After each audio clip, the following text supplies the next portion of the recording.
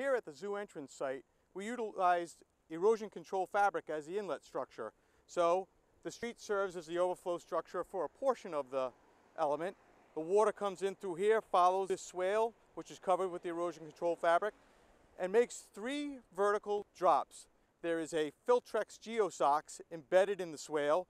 The water comes along, drops 18 inches down, continues on to a second one, drops 18 inches, and a third one. Through those vertical drops, we'll realize the sediment removal. Then it continues on to a redundant forebay with precast pavers, so sediment can be collected there as well and then swept up by maintenance personnel. So this is the first time that we have used erosion control fabric as an inlet structure, comes down, drops three times to remove sediment, and continues on to the forebay.